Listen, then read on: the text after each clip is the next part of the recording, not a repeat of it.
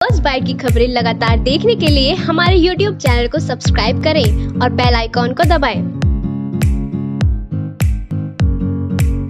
इस खबर के प्रायोजक है दी अध्ययन स्कूल शताब्दी नगर, मेरठ।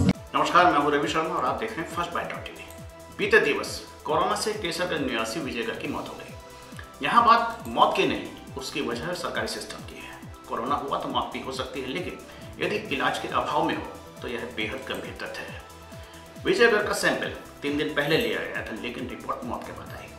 सभी लक्षण, उसमें वह उनकी पत्नी में कोरोना के थे, लेकिन उन्हें घर भेज दिया गया। कल्पना कर, रूह काँप जाती है कि वृद्ध दंपति ने मेडिकल कॉलेज से घर तक का करीब 10 से ज़्यादा किलोमीटर का फासला पैदल तय किया।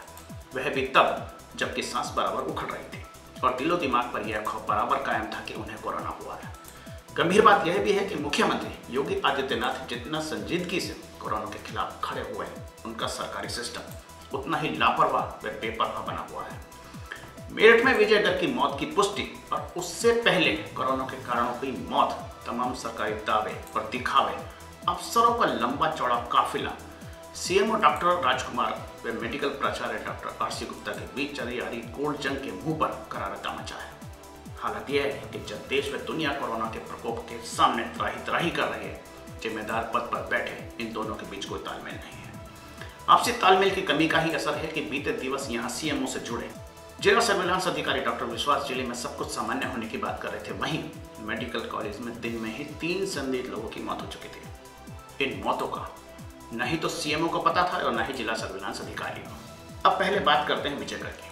केसरगंज निवासी बासठ वर्षीय विजयगढ़ करीब पिछले सात दिन से कोरोना के लक्षण पाने पर इलाज के लिए दर भटक रहे थे।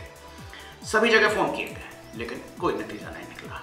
खुद जैसे तैसे अपनी पत्नी सुषमा को लेकर मेडिकल कॉलेज पहुँच गए, लेकिन उन्हें भर्ती नहीं किया गया, जबकि पति व पत्नी दोनों की ही हालत खराब थी।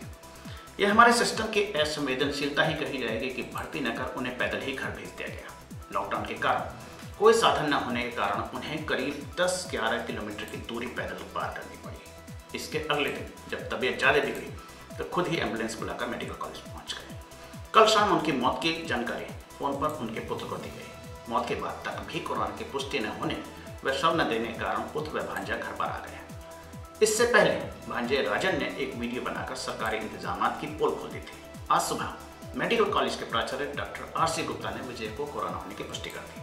कोरोना से बीती रात विजय गर्ग की मौत के बाद आज जिला प्रशासन और स्वास्थ्य विभाग में हड़कम मच गया।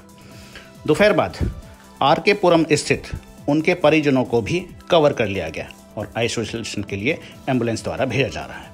गंभीर बात यह भी है कि राजन ने बीते दिवस ये आरोप भी लगाया था कि विजय गर्ग के पड़ोसी भी कोरोना लक्षण पाते हुए बीते दिवस मेडिकल कॉलेज पहुँचे थे, लेकिन उन्हें भी घर का रास्ता दिखा दिया गया।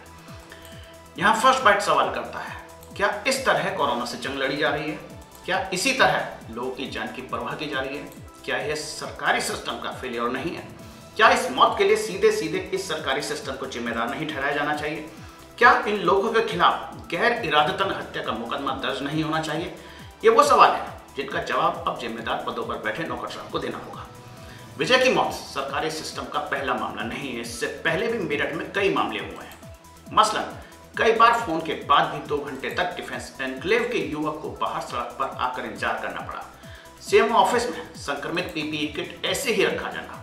गर्भवती संक्रमित महिला के नवजात बच्चे को परिजनों को सौंप देना। प्राचार्य व सीएमओ के बीच तालमेल का अभाव होना। ऐसे में यह सवाल भी उठना लाजमी है कि आखिर आइसोलेशन वार्ड से लोग क्यों भाग रहे हैं अथवा क्यों भागना चाह रहे हैं? हाल ही में मेडिकल कॉलेज से नौ लोग भाग निकले थे। बाद में पुलिस हरकत में आए तो सभी वापस लौटे। सुभारती मेडिकल कॉलेज में मरीजों को खाने को लेकर हंगामा। जिस तरह का और जिस तरह से लोगों को खाना दिया जा रहा है, वह निश्चित ही व्यवस्था पर सवाल खड़े करता है। इस खबर पे आज इतना ही। अपना बेहद ध्यान रखिएगा क्योंकि जान है तो जहान है, वरना तो विजय वर्ग जैसी खबरें ही बनेंगी। नमस्कार।